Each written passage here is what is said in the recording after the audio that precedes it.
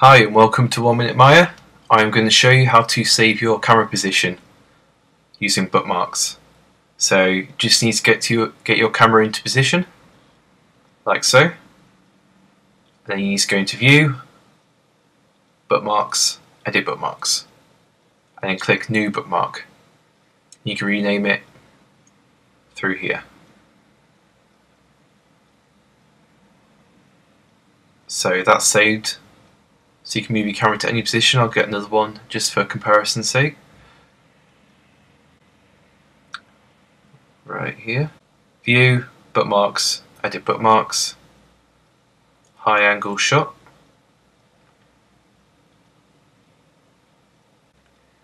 Looks like you can't name it first, so you just have to create it and rename it afterwards.